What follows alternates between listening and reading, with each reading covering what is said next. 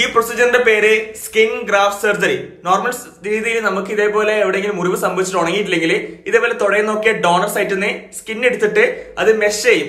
അത് മെഷിംഗ് എന്ന് വെച്ചാൽ സ്മോൾ സ്മോൾ സ്പോർട്സ് ഒക്കെ ഉണ്ടാക്കിയിട്ട് ലാർജ് ഏരിയ കവർ ചെയ്യാൻ വേണ്ടി ചെയ്യുന്നതാണ്. അതിനുശേഷം ഇതേപോലെ വൂണ്ട് ഉണങ്ങാത്ത സ്ഥലത്ത് ഈ ഡയബറ്റിക് വൂണ്ട്സ് ഒക്കെ ഉണ്ട് ഉണങ്ങാത്ത ഡയബറ്റിസ് വന്ന ആൾക്കാർക്ക്. അപ്പൊ ഇതേപോലെ ഡോണർ സൈഡിൽ നിന്ന് എടുത്തിട്ട് അവിടെ പ്ലേസ് ചെയ്തിട്ട് കമ്പർഷൻ ഡ്രസ്സിംഗ് ചെയ്യും. സ്വിച്ചർ ചെയ്തിട്ട് കമ്പർഷൻ ഡ്രസ്സിംഗ് ചെയ്തിട്ട് ഡെയിലി ആന്റിബയോട്ടിക്സ് ഒക്കെ കഴിക്കാൻ പറയും. ഡെയിലി ഡ്രസ്സിംഗ് ചെയ്യേണ്ടി വരും. സോ ലൈക്ക് മോഡേൺ ടെക്നിക്കാണ് യൂസ്ഫുൾ ആണ്. ആക്ച്വലി